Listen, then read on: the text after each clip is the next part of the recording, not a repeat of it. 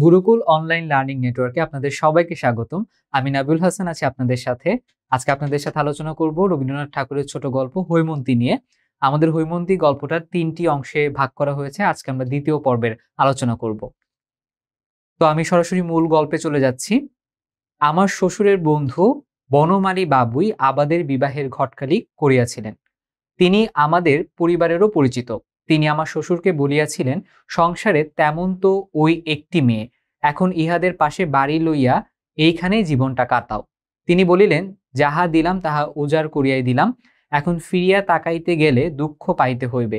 অধিকার ছাড়িয়া দিয়া অধিকার রাখিতে যাইবার মতো এমন বিড়ম্বনা আর নাই। সবশেষে আমাকে নিভৃতে লইয়া গিয়া অপরাধীর মতো সংকোচে বলিলেন, আমার মেয়েটি বই পরিবার শখ এবং লোকজনকে খাওয়াইতে ও বড় ভালোবাসে। এজন্য বেহাইকে বিরক্ত করিতে ইচ্ছা করি না। আমি মাঝে মাঝে তোমাকে টাকা পাঠাইব। তোমার বাবা জানিতে পারিলে কি রাগ করিবেন? প্রশ্ন শুনিয়া কিছু আশ্চর্য হইলাম। সংসারে কোনো একটা দিক হইতে অর্থ সমাগম হইলে বাবা রাগ করিবেন, তাহার মেজাজ এত খারাপ তো দেখি নাই। তাহলে এখানে আমরা দেখছি, এই যে বনমালী বাবু, যিনি আর কি বিয়ের ঘটকালি করছেন, তিনি বলছেন নায়ককে যে, শ্বশুরবাড়ির পাশে একটা বাড়ি নিয়ে থাকতে। মূলত এই যে শ্বশুরের যে বাড়িটা সেই বাড়িটা যাতে জামাইয়ের দখলে থাকে বা জামাই যাতে সেটাকে টেক কেয়ার করতে পারে, এজন্য তিনি এই কথা বলছেন। যেহেতু শ্বশুরের সব সম্পত্তি মেয়ের জামাইরই হবে, এই ধরনের একটা টেন্ডেন্সি তখনকার সমাজে ছিল, তাই তিনি এই কথাটা বলেছেন। আর আমরা পরবর্তীতে দেখেছি শ্বশুর, তিনি মেয়ের জামাইকে বলছে যে, আমার মেয়ে, সে বই পড়তে তার অনেক ইচ্ছে করে, বই পড়ার তার শখ এবং মানুষকে খাওয়াতে তার শখ ট্রিট করতে তার শখ। তো এটার জন্য আমি আলাদা করে তোমাকে টাকা পাঠাইবো, এটার জন্য তোমার বাবা যেন, তোমার বাবা কি রাগ করবে? তো তখন একটু নায়ক অবাক হয়েছে যে টাকা আসার ব্যাপারটাতে তো তার বাবা সবসময় উৎসাহী, কারণ পণের জন্যই তো আসলে এই মেয়েটার সাথে তার বিয়ে দিল। এই জন্য তিনি একটু আর কি অবাক হয়েছেন এই কথাটাতে। যেন ঘুষ দিতেছেন এমনই ভাবে আমার হাতে একখানা একশো টাকার নোট গুজিয়া দিয়াই আমার শ্বশুর দ্রুত প্রস্থান করিলেন। আমার প্রণাম লইবার জন্য সবর করিলেন না, পিছন হইতে দেখিতে পাইলাম, এইবার পকেট হইতে রুমাল বাহির হইল। আমি স্তব্ধ হইয়া বসিয়া ভাবিতে লাগিলাম, মনে বুঝিলাম ইহারা অন্য জাতের মানুষ। বন্ধুদের অনেকেই তো বিবাহ করিতে দেখিলাম, মন্ত্র পড়ার সঙ্গে সঙ্গে স্ত্রীটিকে একেবারে এক গ্রাসে গলাধক্ষণ করা হয়। পাকযন্ত্রে পৌঁছিয়াছে কিছুক্ষণ বাদে এই পদার্থটির নানা গুণাগুণ প্রকাশ হইতে পারে এবং ক্ষণে ক্ষণে অভ্যন্তরিক উদ্বেগ উপস্থিত হইয়াও থাকে। কিন্তু রাস্তাটুকুতে কোথাও কিছুমাত্র বাধে না। আমি কিন্তু বিবাহ সভাতেই বুঝিয়েছিলাম, দানের মন্ত্রে স্ত্রীকে যেটুকু পাওয়া যায় তাহাতে সংসার চলে, কিন্তু পনেরো আনা বাকি থাকিয়া যায়। আমার সন্দেহ হয় অধিকাংশ লোক স্ত্রীকে বিবাহ মাত্র করে, পায় না এবং জানেও না যে পায় নাই। তাহাদের স্ত্রীর কাছে আমৃত্যুকাল অর্থাৎ এখানে বোঝানো হচ্ছে এই যে বিয়ে করার যে মূল উদ্দেশ্য তখনকার সমাজে যেটা ছিল, সেটা হচ্ছে এক আনা মানে একজন সঙ্গী পাওয়ার পনেরো আনাটাই ছিল হচ্ছে যৌতুক নেওয়া বা যৌতুক পাওয়া। অর্থাৎ এই যে যৌতুকের জন্য তখনকার সমাজে মূলত মানুষ ছেলেদেরকে বিয়ে দিত যাতে ভালো অঙ্কের একটা অর্থ পাওয়া যায়। কিন্তু বিবাহের মূল উদ্দেশ্য হওয়া উচিত ছিল যে, একজন ছেলে এবং মেয়ে তাদের মধ্যে মনের মিল হবে, তারা সুখে শান্তিতে থাকবে।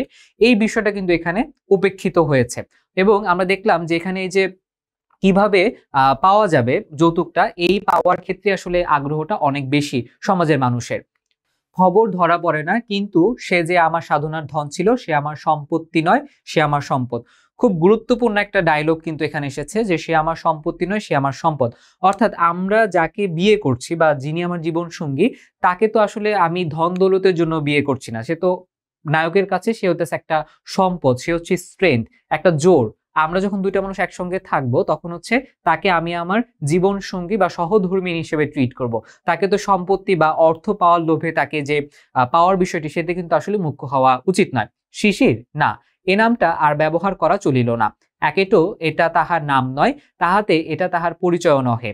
সে সূর্যের মতো ধ্রুব, সে ক্ষণজীবিনীর উষার বিদায়ের অশ্রুবিন্দুটি নয়, কি হইবে গোপন করিয়া তাহার আসল নাম হৈমন্তী। অর্থাৎ এখানে হৈমন্তীর যে আসল নাম, সেটি বলে দেওয়া হলো দেখিলাম এই সতেরো বছরের মেয়েটির ওপর যৌবনের সমস্ত আলো আসিয়া পড়িয়াছে। কিন্তু এখনও কৈশোরের কোল হইতে সে জাগিয়া উঠে নাই, ঠিক যেন শৈলচূড়ার বরফের ওপর সকালের আলো ঠিকরিয়া পড়িয়াছে। কিন্তু বরফ এখনও গলিল না, আমি জানি এই অকলঙ্ক শুভ্র সে কি পবিত্র নিবিড়। অর্থাৎ বলা হচ্ছে যে এই যে সতেরো বছর বয়স যে হৈমন্তীর হয়েছে, তার শরীরে যৌবনের যে একটা শারীরিক পরিবর্তন, সেটি তার শরীরের মধ্যে দেখা গেছে। কিন্তু তার আচরণের মধ্যে এখনও আসলে কৈশোরের সে ভাবটি আছে এবং এটার প্রতি আসলে যিনি নায়ক, তিনি আকৃষ্ট হচ্ছেন। আমার মনে একটা ভাবনা ছিল যে, লেখাপড়া জানা বড় মেয়ে কি জানি কেমন করিয়া তাহার মন পাইতে হবে। কিন্তু অতি অল্প দিনেই দেখিলাম মনের রাস্তার সঙ্গে বইয়ের দোকানের রাস্তার কোনো জায়গা কোনো কাটাকাটি নাই। তবে যে তাহার সাদা মনটির উপরে একটু রং ধরিল, চোখে একটু ঘোর লাগিল, কবে যে তাহার সমস্ত শরীর মন যেন উৎসুক হইয়া উঠিল, তাহা ঠিক করিয়া বলিতে পারিব না। অর্থাৎ এখানে বলা হচ্ছে যে নায়ক একটু দুশ্চিন্তায় ছিল যে কীভাবে আসলে তার ওয়াইফের সাথে তার অ্যাডজাস্টমেন্টটা হবে। কিন্তু দেখা গেল খুব সহজেই তাদের মধ্যে ভালোবাসার বা যে প্রেমের সম্পর্কটা সেটি গড়ে উঠল। একজন আরেকজনের প্রতি আকর্ষণ বোধ করল এবং তাদের মধ্যে একটা ভালো সম্পর্ক গড়ে উঠেছে।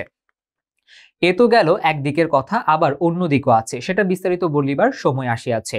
রাজ সংসারে আমার শ্বশুরের চাকরি, ব্যাংকে যে তাহার কত টাকা জমিল, সে সম্বন্ধে জনশ্রুতি নানা প্রকার অঙ্কপাত করিয়াছে। কিন্তু কোনো অঙ্কটাই লাখের নিচে নামে নাই। ইহার ফল হইয়াছিল এই যে, তাহার পিতার দর যেমন যেমন বাড়িল, হৈমর আদরও তেমনই বাড়িতে থাকিল। আমাদের ঘরের কাজকর্ম, রীতিপদ্ধতি শিখিয়া লইবার জন্য যে ব্যগ্র, কিন্তু মা তাহাকে অত্যন্ত স্নেহে কিছুতেই হাত দিতে দিলেন না, এমনকি হৈমর সঙ্গে পাহাড় হইতে যে দাসী আসিয়াছিল, যদিও তাহাকে নিজেদের ঘরে ঢুকিতে দিতেন না, তবু তাহার জাত সম্বন্ধে প্রশ্নমাত্র করিলেন না। পাছে বিশ্রী একটা উত্তর শুনতে হয়।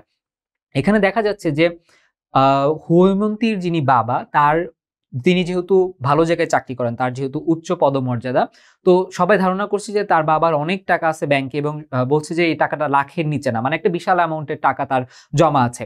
তো যেহেতু বড়লোক বাবার মেয়ে আধরের ঘরের দুলালি পরিবারে উঠে এসেছে, তাই সেজন্য তাকে কোনো কাজ করতে দেওয়া হচ্ছে না মানে তাকে খুব টেক কেয়ার যত্ন নেওয়া হচ্ছে। কিন্তু তৎকালীন সমাজ ব্যবস্থায় নিচু যেসব বর্ণ ছিল বা যারা আর কি নিম্নবিত্ত ছিল, সেখানে দেখা যেত মেয়েদেরকে ঘরের কাজ করার জন্য প্রেশার দেওয়া হতো, তাদের উপর নির্যাতন করা হতো। কিন্তু এখানে মেয়ের বাবার টাকা আছে বলে তাকে কোনো প্রেশার দেওয়া হয় না। একই সাথে তার সাথে যে দাসী এসেছে তৎকালীন সমাজ পদ্ধতিতে যারা উচ্চ বর্ণ ছিল, মেয়ের সাথে একজন দাসী পাঠাতো যাতে শ্বশুরবাড়ির ঘরের কাজ করা হয়। সেই দাসীর সাথে আসলে কম্পারেটিভলি ভালো আচরণ করা হয়। এমনিভাবেই দিন চলিয়া যাইতে পারিত, কিন্তু হঠাৎ একদিন বাবার মুখ ঘোর অন্ধকার দেখা গেল। ব্যাপারখানা এই, আমার বিবাহে আমার শ্বশুর পনেরো হাজার টাকা নগদ এবং পাঁচ হাজার টাকার গহনা দিয়াছিলেন। বাবা তাহার এক দালাল বন্ধুর কাছে খবর পাইয়াছেন, ইহার মধ্যে পনেরো হাজার টাকায় ধার করিয়া সংগ্রহ করিতে হইয়াছে, তাহার সুদও নিতান্ত সামান্য নহে, লাখ টাকার গুজব তো একেবারেই ফাঁকি। মানে এভাবে ভালো দিন চলছিল, কিন্তু হঠাৎ করে ছেলের বাবা জানতে পারল যে যে টাকা যৌতুক দেওয়া হয়েছে এটা মেয়ের বাবা ধার করে দিয়েছে। তার মানে তার কাছে তো টাকা নেই। আর এই যে লাখ টাকার যে কথাগুলো শোনা যাচ্ছে জনশ্রুতিতে, এগুলো হচ্ছে গুজব। তো তার মুখ তো ভীষণ কালো হয়ে গেল। কারণ তিনি এই মেয়েকে, ছেলের বউ করেছে শুধুমাত্র সেই বাবার টাকা বা অর্থবিত্ত বলে। যদিও আমার শ্বশুরের সম্পত্তির পরিমাণ সম্বন্ধে আমার বাবার সঙ্গে তাহার কোনোদিন কোনো আলোচনাই হয় নাই। তবু বাবা জানি না কোন যুক্তিতে ঠিক করিলেন, তাহার বেহাই তাহাকে ইচ্ছাপূর্বক প্রবঞ্চনা করিয়াছেন। যেহেতু সম্পত্তি নিয়ে মানে সম্পত্তির পরিমাণ নিয়ে কথা হয় না তারা ভেবেই ছিল মেয়ের বাবার অনেক টাকা আছে। তো যেহেতু মেয়ের বাবা জানাই নাই যে তার আসলে টাকার পরিমাণটা, কি জন্য মনে করছে যে আসলে আমি প্রতারণার শিকার হলাম, ছেলের বাবা এটা মনে করছে। তারপরে বাবার একটা ধারণা ছিল, আমার শ্বশুর রাজার প্রধানমন্ত্রী গোছের একটা কিছু খবর লইয়া জানিলেন, তিনি সেখানকার শিক্ষা বিভাগের অধ্যক্ষ। বাবা বলিলেন, স্কুলের হেডমাস্টার, সংসারে ভদ্র পদ যতগুলো আছে তাহার মধ্যে সবচেয়ে ওচা। বাবার বড় আশা ছিল, শ্বশুর আজ বাদে কাল যখন কাজে অবসর লইবেন তখন আমি রাজমন্ত্রী হইব। অর্থাৎ এখানে এখানে ছেলের বাবার ধারণা ছিল তিনি হইতেছে রাজার মন্ত্রী গোছের একটা কিছু, অর্থাৎ অনেক উচ্চ পদস্থ কাজ করে। তো যখন আর কি তিনি অবসর নিবে, তখন তার ছেলে, অর্থাৎ জিন নায়ক, তিনি হচ্ছে সেই পদটা পাবেন। এভাবে তার একটা লোভ ছিল, আশা ছিল। এই লোভে মূলত বিয়ে দিয়েছেন, কিন্তু দেখল যে আসলে এ ধরনের কোনো কিছু নেই।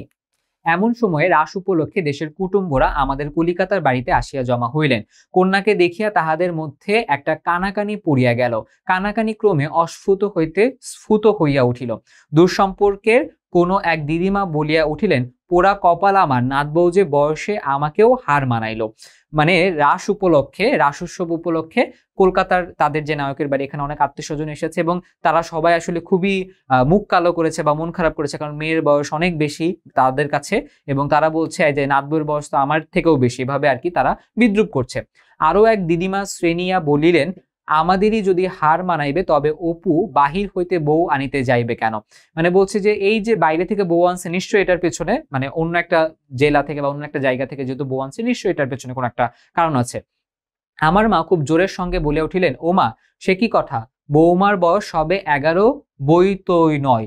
আসছে ফাগুনে বারোই পা দিবে। এখানে হচ্ছে শাশুড়ি তার বউয়ের বয়স লুকাচ্ছে। কারণ যদি এটা বুঝে যায় যে তারা অর্থের লোভে বেশি বয়স্ক একটা মেয়েকে বিয়ে করে, ছেলের বউ করে নিয়ে এসেছে তাহলে তাদের ইজ্জত যাবে। খোট্টাই দেশের ডাল রুটি খাইয়া মানুষ তাই অমন বারন্ত হইয়া উঠিয়াছে। মানে বলতেছে যে ওদের দেশের মানুষজন রুটি টুটি খায়, এজন্য হচ্ছে ওরা- ওদের শরীরটা বেশি গ্রোথ হয়েছে।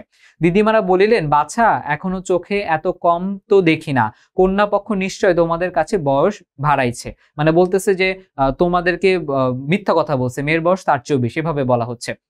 মা বলিলেন, আমরা যে কুষ্ঠি দেখিলাম, কথাটা সত্য, কিন্তু কুষ্ঠিতেই প্রমাণ আছে মেয়ের বয়স সতেরো। প্রবীণরা বলিলেন, কুষ্ঠিতে কি আর ফাঁকি চলে না? এই লইয়া ঘোর তর্ক এমনকি বিবাদ হইয়া গেল। এমন সময়ে সেখানে হৈম আসিয়া উপস্থিত। কোনো এক দিদিমা জিজ্ঞাসা করিলেন নাতবউ তোমার বয়স কত বলো তো? মা তাহাকে চোখ টিপে ইশারা করিলেন, হৈম তাহার অর্থ বুঝিল না, বলিল, সতেরো। মা ব্যস্ত হইয়া বলিয়া উঠিলেন, তুমি জানো না হৈম কহিলেন, আমি জানি, আমার বয়স সতেরো। দিদিমা পরস্পর গা টেপাটিপি করিলেন। বধূর নির্বুদ্ধিতার রাগিয়া উঠিয়া মা বলিলেন, তুমি তো সব জানো, তোমার বাবা যে বলিলেন, তোমার বয়স এগারো। মানে এখানে ছেলের বউয়ের বয়স লুকানোর একটা কিন্তু আমরা প্রচেষ্টা দেখলাম এবং এখানে হৈম ব্যাপারটা বুঝিনি, সে সাবলীল ভাবে বলে দিয়েছে যে তার বয়স সতেরো এবং এটা নিয়ে আসলে আত্মীয় স্বজনদের মধ্যে খুবই একটা ঝামেলা বা কানা ঘষাঘষি অলরেডি হয়ে গেছে। হৈম চমকিয়া কহিল, বাবা বলিয়াছেন কখনো না। মা কহিলেন, অবাক করিল।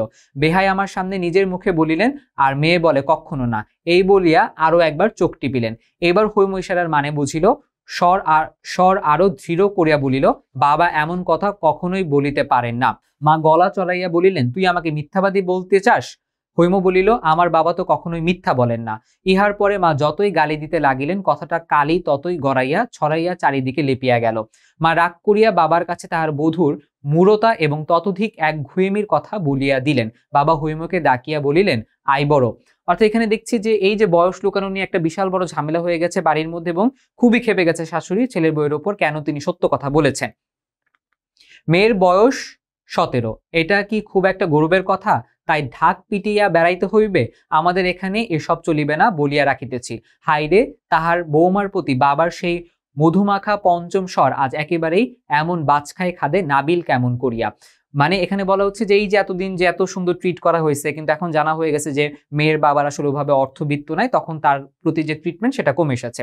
হৈম ব্যথিত হইয়া প্রশ্ন করিল কেহ যদি বয়স জিজ্ঞাসা করে কি বলিব? বাবা বলিবেন মিথ্যা বলিবার দরকার নাই তুমি বলিও আমি জানি না আমার শাশুড়ি জানেন। কেমন করিয়া মিথ্যা বলিতে না হয় সেই উপদেশ শুনিয়া হৈম এমন ভাবে চুপ করিয়া রহিল যে বাবা বুঝিলেন তাহার সদুপদেশটা একেবারে বাজে খরচ হইল। মানে এখানে আহ, হৈমন্তীকে যে উপদেশটা দিলেন তার শ্বশুর এটা কিন্তু হৈমন্তীর কাছে ভালো লাগল না। সে কেন মিথ্যা কথা বলবে। হৈমর দুর্গতিতে দুঃখ করিব কি? তাহার কাছে আমার মাথা হেট হইয়া গেল। সেদিন দেখিলাম শরৎ প্রভাতের আকাশের মতো তাহার চোখের সে সরল উদার দৃষ্টি একটা কি সংশয়ে ম্লান হইয়া গেছে। ভীত হরিণীর মতো সে আমার মুখে দিকে চাহিল, ভাবিল, আমি ইহা দিককে চিনি না। সেদিন একখানা শৌখিন বাধাই করা ইংরেজি কবিতার বই তাহার জন্য কিনিয়া আনিয়াছিলাম। বইখানি সে হাতে করিয়া লইল এবং আস্তে আস্তে কোলের উপর রাখিয়া দিল। একবার খুলিয়া দেখিল না। অর্থাৎ এখানে হৈমন্তী, হৈমন্তীর রাগ ভাঙানোর জন্য তার স্বামী তাকে বই দিয়েছে, কিন্তু সে আজকে এতই উদাসীন যে সার সে তার উপহারটাও খুলে দেখল না। আমি তাহার হাতখানি তুলিয়া ধরিয়া বলিলাম, হৈম, আমার উপর রাগ করিও না। আমি তোমার সত্য কখনো আঘাত করিব না। আমি যে তোমার সত্যের বাঁধনে বাধা। হৈম কিছু না বলিয়া একটুখানি হাসিল সে হাসি বিধাতা যাহাকে দিয়াছে, তাহার কোনো কথা বলিবার দরকার নাই। পিতার আর্থিক উন্নতির পর হইতে দেবতার অনুগ্রহকে স্থায়ী করিবার জন্য ন্যূনত উৎসাহে আমাদের বাড়িতে পূজা অর্চনা চলিতেছে। সে, এ পর্যন্ত সে সমস্ত ক্রিয়াকর্মে বাড়ির বধূকে ডাক পড়ে না। অর্থাৎ এই যে ছেলের বউর প্রতি যে তাদের একটা অসন্তোষ, সে কারণে বাড়ির যে পুজো হচ্ছে, এই পুজোতেও কিন্তু ছেলের বউকে আর ডাকছে না। কারণ ছেলের কারণ মেয়ের যে বাবা, তার কিন্তু আসলে ওই পরিমাণ অর্থ বা সম্পত্তি নাই, তারা যেমনটা এক্সপেক্ট করেছিল। নতুন বধূর প্রতি একদিন পূজা সাজাইবার আদেশ হইল। সে বলিল, মা, বলিয়া দাও কি করিতে হইবে। ইহাতে কারও মাথায় আকাশ ভাঙিয়া পড়িবার কথা নয়, কারণ সকলেরই জানা ছিল, মাতৃহীন প্রবাসে কন্যা মানুষ কিন্তু কেবলমাত্র হৈমকে লজ্জিত করিবার এই আদেশের হেতু। সকলে গালে হাত দিয়ে বলিল ওমা এ কি কাণ্ড? এ কোন নাস্তিকের ঘরের মেয়ে? এবার এই সংসার হইতে লক্ষ্যে ছাড়িল আর দেরি নাই। যখন হৈম পূজা করার জন্য বলছে যে, কি কি নিয়ম আমাকে বলে দাও, তখন তারা তাকে ভৎসনা করছে, তাকে বিদ্রুপ করছে। কারণ এখন আর তাদের হৈমকে আগের মতো ট্রিট করার প্রয়োজন নেই। এই উপলক্ষে হৈমর বাপ বাপের উদ্দেশ্যে যাহা না বলিবার, তাহা বলা হইল। অর্থাৎ তার বাবা সম্পর্কে অনেক বাজে বাজে কথা বলা হলো। যখন হইতে কটু কথার হাওয়া দিয়েছে, হৈম একেবারে চুপ করিয়া সমস্ত সহ্য করিয়াছে। একদিনের জন্য কাহারও চোখের সামনে সে চোখের জল, জলও ফেলে নাই। আজও তাহার বড় বড় দুই চোখ ভাসাইয়া দিয়া জল পড়িতে লাগিল। সে উঠিয়া দাঁড়াইলো, বলল, আপনারা জানেন এদেশে আমার বাবাকে সকলে ঋষি বলে। অর্থাৎ এখানে যে বাবাকে যে অসম্মান করা হচ্ছে, এটাকে মানে সে মেনে নিতে পারছে না, তার এত আঘাত লাগছে। কিন্তু তারপরেও তার বাবাকে তুলে তার বারবার করে দেওয়া হচ্ছে। তার বাবা একজন সম্মানিত ব্যক্তি হওয়ার পরেও।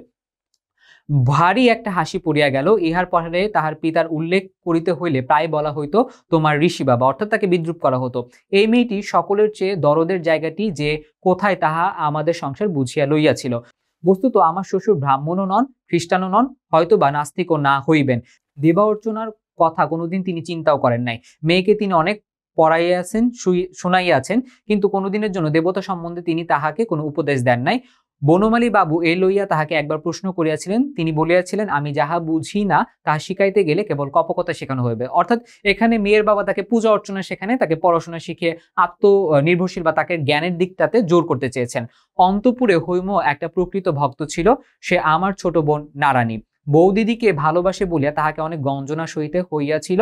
সংসার যাত্রায় হৈমর সমস্ত অপমানের পালা আমি তাহার কাছে শুনিতে পাইতাম। একদিনের জন্য আমি হৈমর কাছে শুনি নাই। এ সব কথা সংকোচে সে মুখে আনিতে পারিত না। সে সংকোচ নিজের জন্য নহে।